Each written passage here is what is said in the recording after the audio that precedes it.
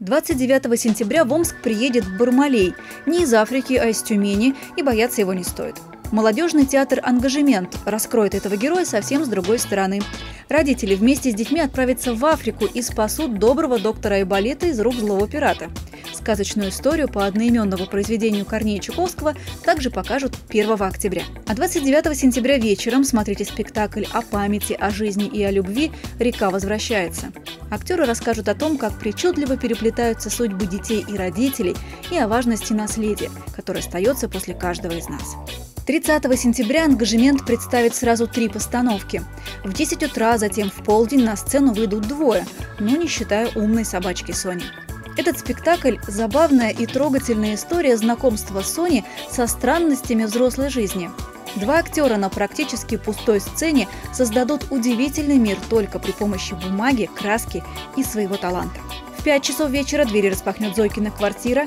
Это знаменитая история о нравственном выборе, перед которым оказываются герои Булгакова. В своей квартире молодая вдова Зоя Пельц открывает швейную мастерскую, которая по вечерам превращается в еще более популярный дом свиданий, где царят весьма вольные нравы. А в 21 час начнется сказка для взрослых о совсем не сказочных проблемах. Главная героиня Амалия Носферату приглашает в гости человека из театра, чтобы отдать ему для спектакля ненужные вещи – но все они оказываются просто хламом, таким же бессмысленным, как и вся жизнь Амалии. Пьеса в одном действии из цикла Кренделя «Носферату» ждет зрителей старше 18 лет. Завершаться гастроль ангажемента сценическая композиция Георгия Цхверавы по рассказам Аркадия Верченко «Вино любви». На сцене полукарикатурные персонажи, доведенные до абсурда ситуаций и абсолютно непредсказуемый финал.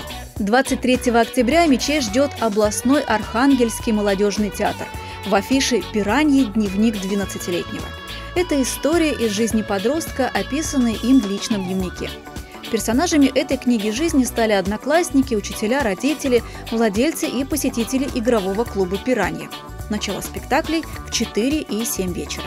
25 и 26 октября со сцены ТОП-театра прозвучат отрывки из записных книжек и текст пьесы Венедикта Ерофеева «Вальпургиевая ночь» или «Шаги командора». Это спектакль с характером и народными грубостями, исключение которых из текста авторы спектакля называют предательством правды жизни.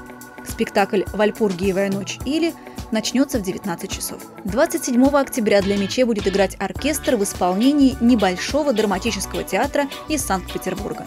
Через историю одного музыкального коллектива актеры покажут историю всего человечества, рассмотренную под увеличительным стеклом. Поэтому каждый увидит в этом оркестре себя. Зрители, пришедшие в ТОП-театр 28 октября, отправятся в Мадрид в Мадрид.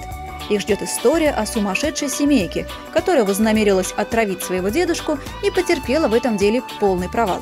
Горячая смесь смешного и страшного обеспечит сильный эмоциональный эффект, который можно сравнить с поездкой на американских горках. Желаем вам приятного просмотра.